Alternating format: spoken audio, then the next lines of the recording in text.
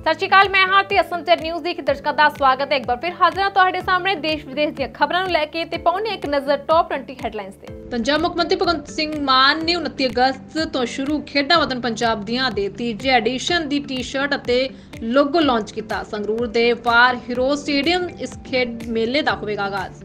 ਡਿੰਪੀ ਢਿੱਲੋਂ ਦੇ ਬਾਦਲ ਨੇ ਆਪੋ ਆਪਣੇ ਸਮਰਥਕਾਂ ਦਾ ਸੱਦਿਆ ਇਕੱਠ। ਢਿੱਲੋਂ ਨੇ ਆਪ ਦੇ ਵਿੱਚ ਜਾਣ ਦਾ ਬਣਾਇਆ ਇਰਾਦਾ ਕਿਹਾ ਜੇ ਸੀਐਮ ਮਾਨ ਸਾਡੀਆਂ ਮੰਗਾਂ ਮੰਨਣਗੇ ਤਾਂ ਅਸੀਂ ਆਪ ਦਾ ਦੇਾਂਗੇ ਸਾਥ।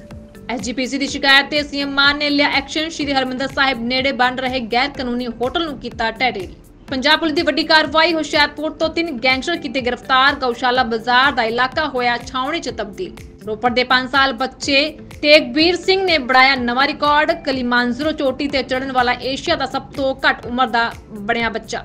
ਡੀਜੀਪੀ ਨੇ ਕੀਤੀ ਸ਼ਲਾਘਾ। ਪਲ ਗਰੁੱਪ ਦੇ ਮਾਲਕ ਦਾ ਹੋਇਆ ਦੇਹਾਂਤ, ਨਿਰਮਲ ਸਿੰਘ ਪੰਗੂ ਨੇ ਦਿੱਲੀ ਚ ਲਏ ਆਖਰੀ ਸਾਹ। 5 ਕਰੋੜ ਤੋਂ ਵੱਧ ਲੋਕਾਂ ਦੇ 50000 ਕਰੋੜ ਰੁਪਏ ਦਾ ਕੀਤਾ ਸੀ ਵੱਡਾ ਕਪਲਾ ਫਾਜ਼ਿਲਕਾ ਪੁਲਿਸ ਨੇ 150 ਕਰੋੜ ਦੀ ਹੈਰੋਇਨ ਮਾਮਲੇ ਦੇ ਵਿੱਚ ਇੱਕ ਦੋਸ਼ੀ ਨੂੰ ਕੀਤਾ ਗ੍ਰਿਫਤਾਰ। ਸਤਲੁਜ ਦਰਿਆ ਰਾਹੀਂ ਮੰਗਵਾ ਰਿਹਾ ਸੀ ਹੈਰੋਇਨ। ਐਮਐਲਏ ਗੋਗੀ ਨੇ ਨੀਂਹ ਪੱਧਰ ਤੋੜ ਕੇ ਖੋਲੀ ਸਰਕਾਰ ਦੀ ਨੀਂਦ। ਕੁਲਤਾਰ ਸੰਧਾਵਾ ਨੇ ਕਿਹਾ, ਬੁੱਢਾ ਦਰਿਆ ਬਚਾਉਣਾ ਸਾਡਾ ਸਾਰਿਆਂ ਦਾ ਫਰਜ਼ ਹੈ। ਅੜਚਨ ਪੈਦਾ ਕਰਨ ਵਾਲਿਆਂ ਖਿਲਾਫ ਕਰਾਂਗੇ ਸਖਤ ਕਾਰਵਾਈ। ਪੀਐਸਪੀਸੀਐਲ ਦੀ ਸਖਤ ਕਾਰਵਾਈ, ਬਿਜਲੀ ਚੋਰੀ ਦੇ ਫੜੇ 2075 ਮਾਮਲੇ। ਲੋਕਾਂ ਨੂੰ ਸਾਡੇ 4 ਕਰੋੜ ਤੋਂ ਵੱਧ ਦਾ ਠੋਕਿਆ ਜੁਰਮਾਨਾ। ਤਾਰੇ ਮਰਡਰ ਕੇਸ ਦੇ ਦੋ ਦੋਸ਼ੀ ਸੰਜੇ ਰਾਏ ਨੇ ਪੋਲੀਗ੍ਰਾਫ ਟੈਸਟ ਵਿੱਚ ਕੀਤਾ ਖੁਲਾਸਾ। ਸੀਬੀਆਈ ਦੇ ਸਾਹਮਣੇ ਕੀਤੇ ਕਈ ਹੈਰਾਨ ਕਰਨ ਵਾਲੇ ਦਾਅਵੇ। ਆਪਣਾ ਜ਼ੁਲਮ ਵੀ ਕੀਤਾ ਕਬੂਲ। 19 ਸਾਲ ਮਗਰੋਂ ਹੋਇਆ ਪਿਓ ਪੁੱਤ ਦਾ ਮਿਲਾਪ। ਪਿਤਾ ਨੂੰ ਲੱਭਣ ਦੇ ਲਈ ਜਾਪਾਨ ਤੋਂ ਪੰਜਾਬ ਪਹੁੰਚਿਆ ਪੁੱਤਰ। ਕਾਲਜ ਵੱਲੋਂ ਫੈਮਿਲੀ ਟ੍ਰੀ ਬਣਾਉਣ ਦੇ ਕੰਮ ਨੇ ਕਰਾਇਆ ਪਿਓ ਪੁੱਤ ਮਿਲਾਪ। ਜੰਮੂ ਕਸ਼ਮੀਰ ਚੋਣਾਂ ਵਿਚਾਲੇ ਲੱਦਾਖ ਨੂੰ ਮਿਲੇ ਪੰਜ ਨਵੇਂ ਜ਼ਿਲ੍ਹੇ। ਕੇਂਦਰ ਸਰਕਾਰ ਨੇ ਦਿੱਤੀ ਮਨਜ਼ੂਰੀ। ਕੇਂਦਰੀ ਗ੍ਰਹਿ ਮੰਤਰੀ ਅਮਿਤ ਸ਼ਾਹ ਨੇ ਕੀਤਾ ਐਲਾਨ।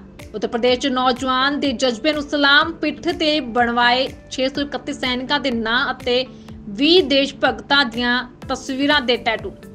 ਕੇਂਦਰ ਸਰਕਾਰ ਨੇ ਯੂਨੀਫਾਈਡ ਪੈਨਸ਼ਨ ਸਕੀਮ ਨੂੰ ਦਿੱਤੀ ਮਨਜ਼ੂਰੀ। 23 ਲੱਖ ਸਰਕਾਰੀ ਮੁਲਾਜ਼ਮਾਂ ਨੂੰ ਮਿਲੇਗਾ ਲਾਭ। ਰੇਲਵੇ ਰਾਜ ਮੰਤਰੀ ਰਵਨੀਤ ਬਿੱਟੂ ਨੇ ਨੰਦੇੜ ਤੋਂ ਹਰੀ ਝੰਡੀ ਦਿਖਾ ਕੇ ਰਵਾਨਾ ਕੀਤੀ, ਪੰਜ ਤਖਤ ਵਿਸ਼ੇਸ਼ ਗੱਡੀ ਸੱਭਿਆਚਾਰ ਦੇ ਰਾਸ਼ਟਰਵਾਦ ਨੂੰ ਵਧਾਉਣ ਲਈ ਕੀਤੀ ਅਨੋਖੀ ਪਹਿਲ।